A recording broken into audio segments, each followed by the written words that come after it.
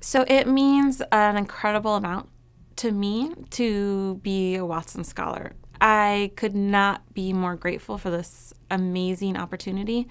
I have friends um, and colleagues from former lives, people I've known forever and always admired who have been Watson Scholars in the past, which is in fact how I heard about it. Um, and so over the years, talking to them, you know, and thinking that's something I want to do one day, or I hope to have the opportunity to be one day. Um, is something that's been in the back of my head. So it's really amazing to sort of then be in that spot. Um, and it's just an incredible it's an incredible honor.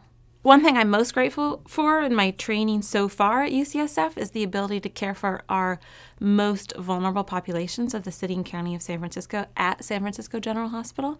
Um, and that's where I've been completing my fellowship. And it makes such a difference in your day to day work when you are um, working closely with uh, the vulnerable populations of San Francisco.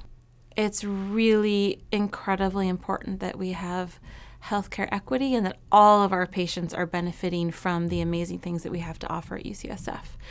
So, one thing that we haven't looked at is how the opioid crisis is affecting pain management for um, patients uh, of vulnerable populations. So, one of the big projects I'm working on is how to combat the opioid crisis, specifically implementing new pathways and new ways of thinking about pain from both the patient perspective and the provider perspective.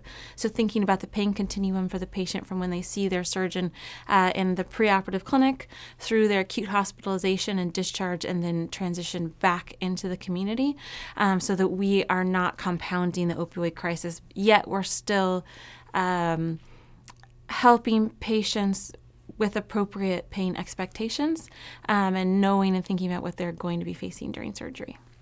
Within UCSF, I have had a lot of support and collaboration, specifically from the health system.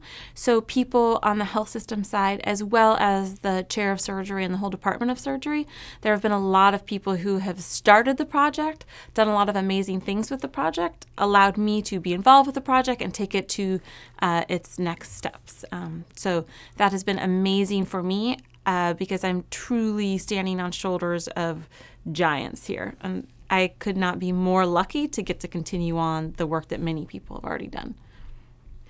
I think for me, being part of the Watson Scholars um, really is showing the commitment that UCSF has to diversity. And I think that when we get a position like that, it's really then on us to show that to other students that they have a home here and to be a part of their process. Diversity is really important, and I think that if people don't see diversity around them, it's really hard to appreciate that it exists and to feel supported in that space.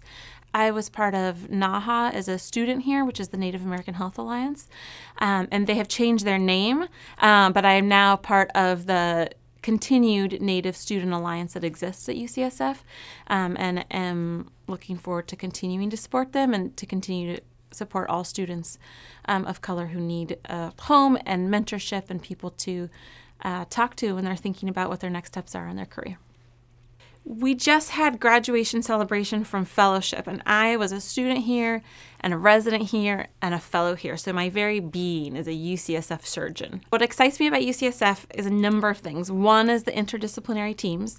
So when i'm in the icu and rounding in the icu i get to work with neurosurgeons and anesthesiologists and respiratory therapists and critical care nurses and pharmacists and a lot of really smart people who are really good in their field. Um, and together as a team, we all make patient care better and more fun. I also could not be luckier at UCSF to have the fabulous residents that we get to work with. Um, they are all so hardworking and so bright and make all of our lives easier and better. Um, and I think that we all work as a team very well together as well. What excites me about UCSF is also the potential to do anything, to be an excellent clinician, and to get to marry that with academic pursuits in a way that I'm not sure exists anywhere else. I definitely want to say that I could not be more grateful for this opportunity um, that the Watson Scholars provides us, not only for the financial support, but for the mentorship and sponsorship, um, for the opportunities to do things like this, and uh, for the whole group of scholars that has come before us. I'm grateful for so many things and so many people, but I am especially grateful to my family, including my namesake, uh, including the woman for whom I was named Koratasi. Her name was Ahahaba Navajo, which uh, means warrior woman. And she was, as were all of the women in my life. Um, and I wouldn't be here without them.